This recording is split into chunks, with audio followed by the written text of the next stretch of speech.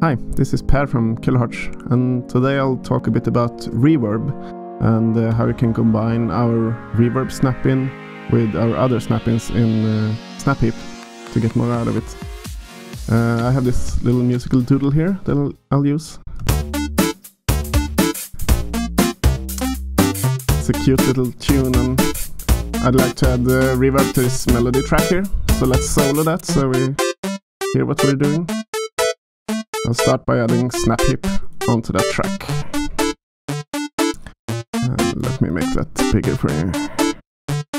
Um, and I just drop the reverb into the first track here inside SnapHeap.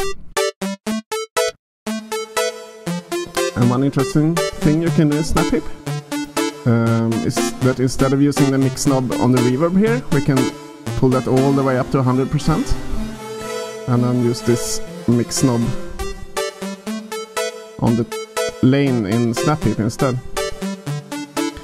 And that's quite interesting because now you can add other snap-ins after re reverb to shape the reverb tail and then use the mix knob on the lane to mix all of that. Uh, for example, I could add a filter. And I hear the reverb tail is, uh, is filtered by this filter. That's quite neat. I think I'll, uh, use a bandpass filter here. To make the reverb sound a bit different. Uh, it's quite nice.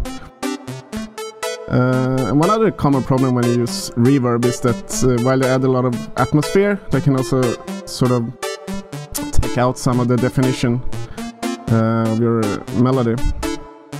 One way to combat that is to have the reverb duck when the melody is playing, and you can use a compressor in SnapHeap to do that. Uh, so here's my compressor. Uh, I'll use the sidechain input and put it to main. It means it's triggered by the input and not by the reverb. So it's triggered by the dry signal coming into SnapHeap. And uh, I can adjust the threshold and let me just mute this filter or bypass it for now. You can hear the effect. Pull the attack all the way down.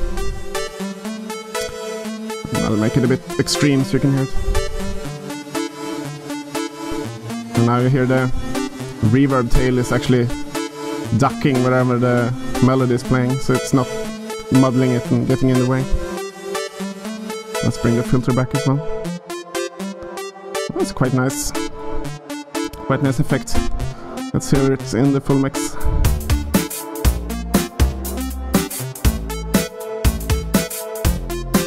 Yeah, I like that. I think I'll keep it that way. So yeah, see you next time.